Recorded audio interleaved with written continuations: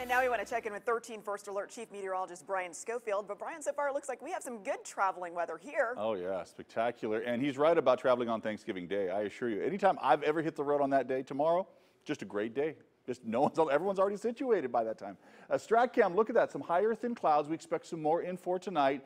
What do we expect for tomorrow? Well, we'll have that in just a moment. 67 degrees right now. Look at just beautiful temperatures now. Uh, we're getting a little bit of a breeze as advertised today. Uh, we'll probably keep some of that in for this evening, early this evening at least, but then we have much stronger wind on the way. But temperatures all around the valley nicely in the 60s. East northeasterly flow at 8 miles per hour. And do you smell? Smell that? smell Even that graphic smells good.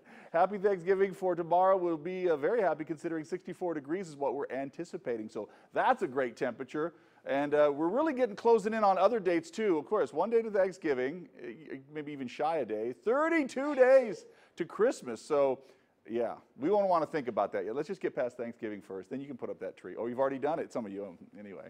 All right, taking a look. Let's look upstream a little bit. We've been talking about some disturbances coming through, mostly staying to the north, but I still think we'll get another one into the south just enough to maybe give us a chance for a shower. And I'm saying it's a small chance right now toward the end of the weekend. But either way, we know we're going to get some wind out of the bargain. I'll show you that in the next seven.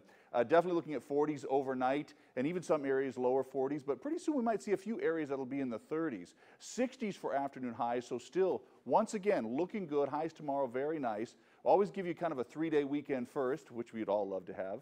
Uh, temperatures do fall down end of the weekend pick up the wind, bring in the cool, and that cool sticks with us. And it looks like through a good portion of next week as well. So you can see right there, temperatures falling into the 50s for next week. Uh, definitely overnight lows dropping as well. Uh, yesterday, I knew we were going to have to turn them down a little bit overnight to reflect the current trends, and that means there'll be some more 30s on the way.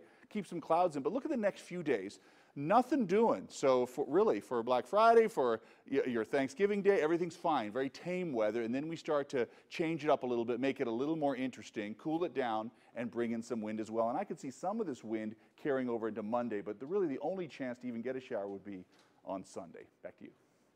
The Nevada